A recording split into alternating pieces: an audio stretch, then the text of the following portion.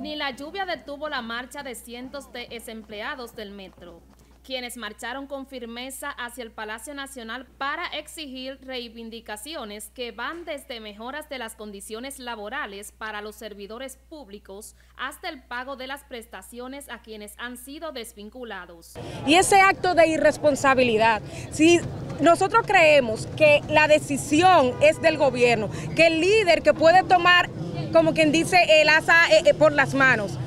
es el presidente y aquí estamos frente al Palacio. ¿Cómo es posible que al sol de hoy se muestre esta irresponsabilidad? Desafiando el aguacero, los desvinculados de la oficina para el reordenamiento del transporte OPRET,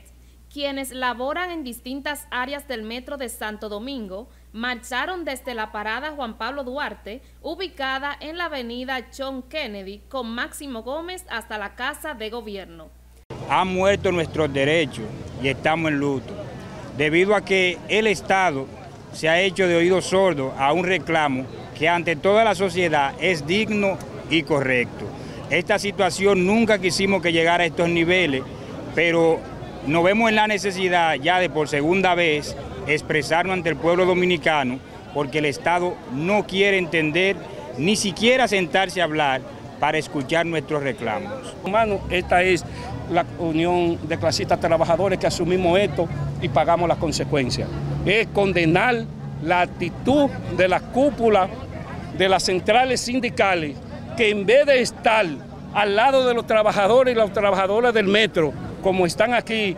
los dirigentes que defienden esa clase, a las exigencias de los manifestantes, también se suma el grito por un aumento salarial, según se pudo leer en uno de los letreros que con mucho ímpetu sostiene una de las manifestantes, también abogan por una reforma en los horarios laborales